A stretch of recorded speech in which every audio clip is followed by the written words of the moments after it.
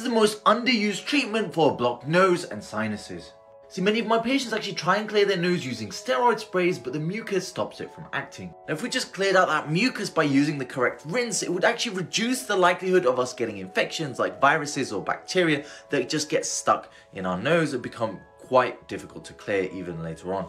It's called NeilMed Sinus Rinse and you just squirt it up one nostril and that clears the opposite side as you can see here. Be careful though, because if you're using something like a neti pot, you can actually fill this up with your own fluid, which does do the job, but you've got to be incredibly careful not to just use tap water. You can use cooled boiled water or sterile saline.